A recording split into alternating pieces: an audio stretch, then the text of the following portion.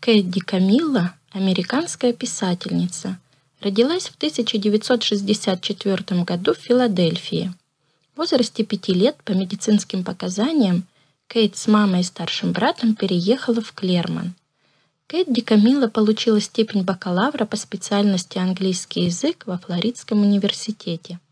В возрасте 30 лет Кейт переехала в Миннеаполис, где работала на книжном складе. Эта работа и вдохновила ее на сочинение книг для детей. Первое произведение о дворняге по кличке Уин Дикси в 2000 году принесло начинающему автору всемирную известность. Десятилетний Индия Опол переезжает вместе с отцом в крохотный южный городок и чувствует себя ужасно одинокой. Мама Опол давно ушла из семьи. В новом городе пока нет друзей. Однажды в один прекрасный день девочка встречает в супермаркете под названием Уин Дикси нелепого бездомного пса, который умеет улыбаться совершенно по-человечески. Девочке ничего не остается, как взять его с собой, так и назвав Уин Дикси. Смешная собака учит свою маленькую хозяйку смотреть на мир другими глазами. Благодаря ей девочка знакомится с удивительными людьми – и, наконец, находит друзей там, где меньше всего ожидала. И главное, она поняла, что люди не всегда такие, какими кажутся на первый взгляд. И в каждом заключена тайна, и в этом, возможно, и главная ценность и красота. В 2000 году книга получила золотую медаль Всеамериканского общества «Выбор родителей», а потом еще и медаль Ньюбери, приз, присуждаемый за особый вклад в американскую детскую литературу. В 2005 году книга «Спасибо, Уин Дикси» была экранизирована. Книга «Парящий тигр» была написана Кэдди Камилла в 2001 году. Это история о ребенке, у которого нет мамы. В школе над шестиклассником Робом Хортоном издеваются, но он молча сносит обиды. Друзей у него нет. Однажды Роб нашел в лесу тигра, которого безжалостный хозяин спрятал в лесу в железной клетке. Тигр стал самой большой тайной мальчика. И только одному человеку на свете он раскрыл ее — Сикстине, новенькой однокласснице и товарищу по несчастью. Эта история рассказывает о предательстве и любви, о храбрости и чести, о том, как важно быть добрым, порядочным и как больно терять тех, кого любишь. Как найти правильного человека, то есть друга, близкого тебе, лучшего, любимого, такого, с кем смотришь на мир одинаково.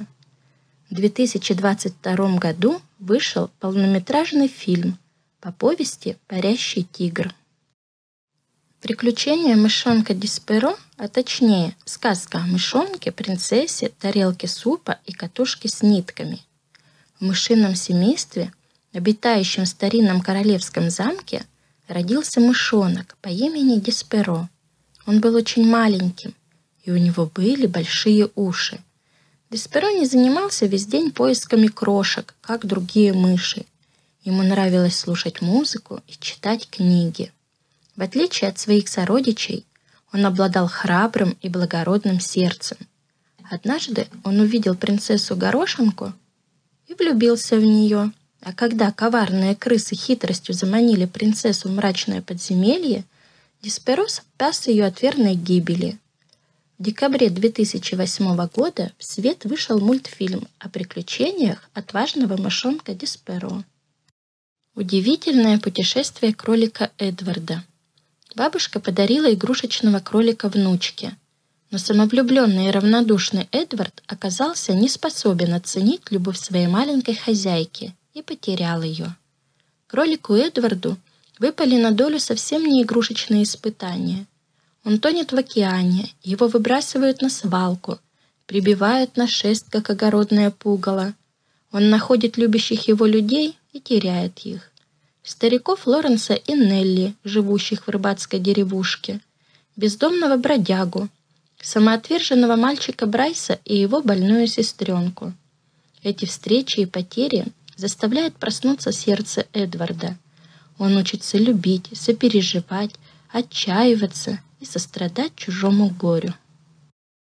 Райми Найтингейл «Девочка с лампой». Удивительно светлая и мудрая история о трех девочках, решивших принять участие в конкурсе.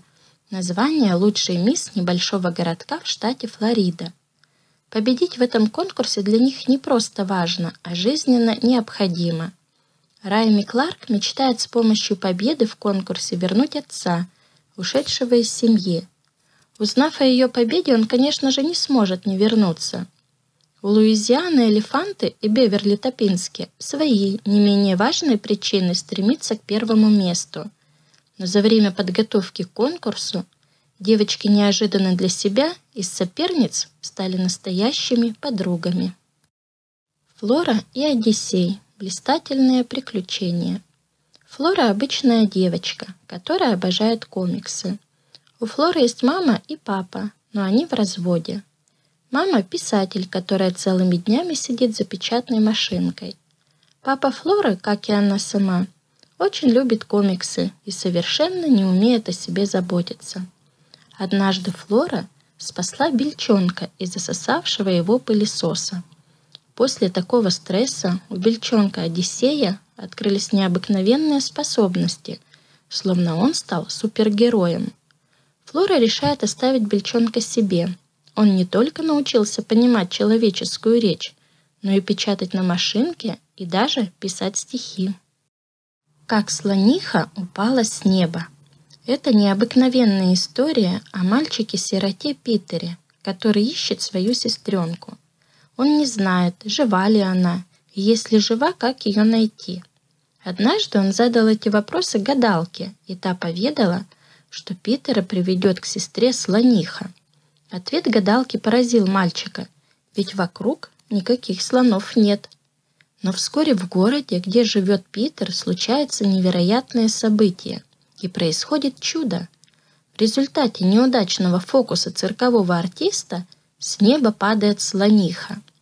Это удивительная и добрая сказка о том, что нужно всегда верить в лучшее, надеяться и добиваться задуманного.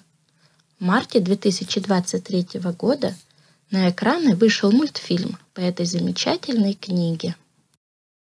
Сегодня книги Кейт Камилла уже называют детской классикой. Их любят дети и их родители. Писательницы они принесли всемирное признание и множество наград. Все представленные книги Кейт Камилла предназначены для детей от 7 до 12 лет.